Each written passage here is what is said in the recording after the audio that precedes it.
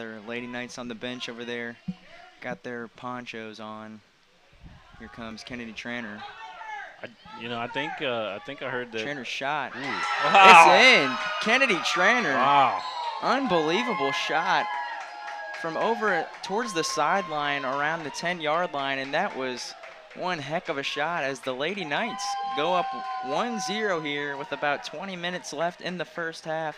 Kennedy Tranter able to put the Lady Knights up early here on Sacred Heart, and that was big. That was, uh, you know, play the ole ole music right there. That was a great shot, Kennedy Tranter.